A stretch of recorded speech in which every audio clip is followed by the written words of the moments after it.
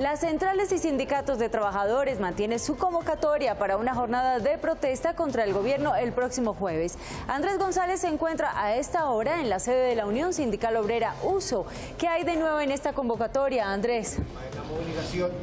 Claudia, pues en este momento se lleva a cabo una rueda de prensa y básicamente lo que se está definiendo los parámetros de lo que será la movilización del paro nacional el próximo 17 de marzo. Escuchemos en este momento a William Agudelo, él es el vocero de la Asociación Distrital de Educadores. El gran paro nacional, es decir, aquí también están los campesinos y va a estar toda la movilización social a nivel nacional.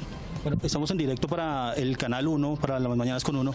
Por favor, ¿nos podría repetir los parámetros esenciales, los puntos claves de esa movilización del próximo 17? Sí, nosotros estamos en defensa del proceso de paz, estamos eh, pidiendo al gobierno nacional negociación y, que los eh, acuerdos de La Habana salgan para todos eh, nosotros los colombianos.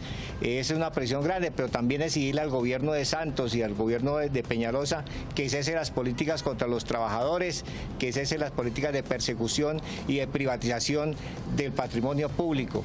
Por eso nos vamos a concentrar en diferentes sitios de Bogotá, en la 30 con 26, en el, en el Parque Nacional, en la Primero de Mayo, en diferentes sitios y va a salir las movilizaciones y la concentración de los camioneros en las entradas de Bogotá.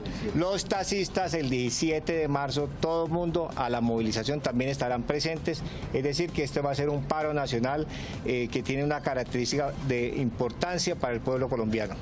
Muchísimas gracias. Pues mire, estas son las declaraciones de William Agudelo, pues también a este paro nacional convocado para el próximo 17 de marzo. Eh, también están convocados la USO, la Unión Sindical Obrera, también está la Asociación Distrital de Educadores, también se, orina, se unirá eh, Sintra, Cine, Cinedian, que es el sindicato de la DIAN, también va a estar a Judicial, va a estar el sindicato ASPU, que es la Asociación de Profesores Universitarios, y también Sintra Distritales y la CUT.